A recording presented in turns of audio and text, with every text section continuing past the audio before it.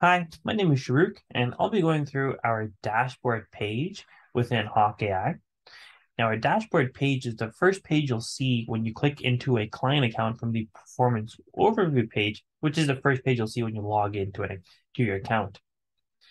From the top, you're able to see which users have access to this uh, account, and you're actually able to invite other users as well right from this page.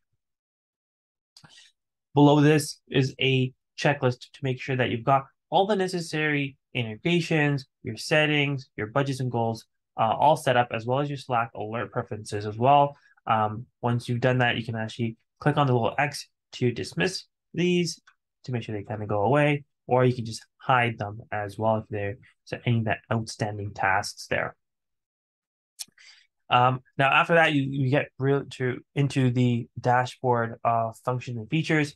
Um, it starts off with all of your goals for the month and how you're performing for those different KPIs. You're able to add up to six goals um, or KPIs from your from your platforms, from your analytics tools of GA. Uh, here, what we have is our total media spend across all of our ad platforms, as well as we pulled in our goals from Google Analytics as well. But these can be customized based off of your individual client or your individual business um, and see the KPIs that matter to you um, the most. You can edit these clicking on the gear icon. Um,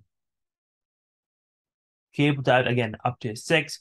Uh, if I want to add one more, I'll need to replace one of these. So let's say, um, let's go back here and say um, goal four, I want to, uh, I want to place total goal completions.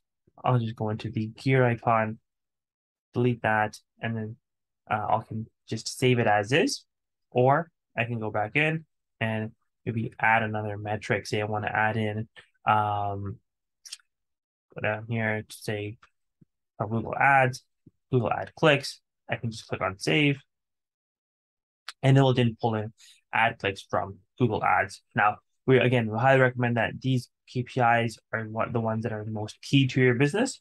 Um, that's kind of our best practice recommendation. Now, below our goals um, section, we've got campaign performance. Uh, from this view, you're able to see all of your um, performance based off of platforms individually. So I can see Facebook ads performance, Google ads, Microsoft ads, and I can use this drop down menu to see the performance of those individual campaigns within the platform. These metrics that we have included within this table um, are those that are shared amongst different ad platforms. So what you won't see are things that are uh, metrics that are specific to a certain ad platform. So for example, with Facebook ads, you might not see post likes because those aren't shared across multiple ad platforms like Google Ads. You're also able to export this data as well into a CSV and um, use it as a way to manipulate the data, uh, filter it, create pivot tables, etc., or upload it somewhere else. And you can customize the date range so you can look at data for the current month, the last 30 days, or use a custom date range picker and say you want, you want to do a bi-weekly check-in, just select a two-week period um, and click on apply. It'll update that as well.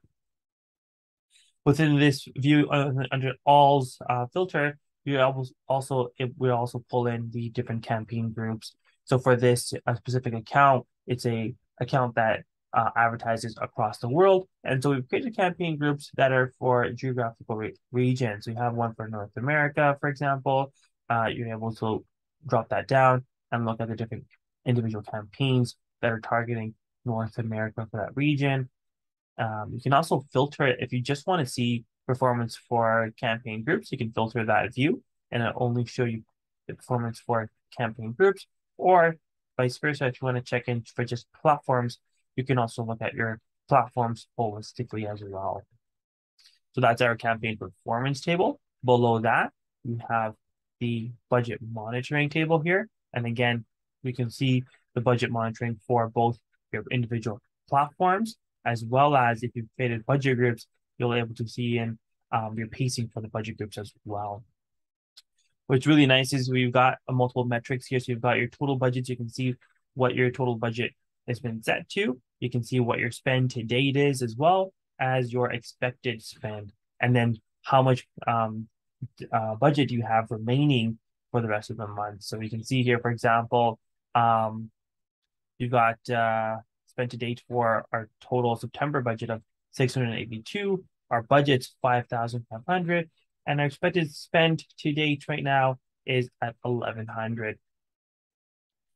Right from this view, you're able to go into the budget monitoring page as well to um, as well as look at your enhanced budget monitoring tool as well. Also, you can kind of click these through to go into those respective pages.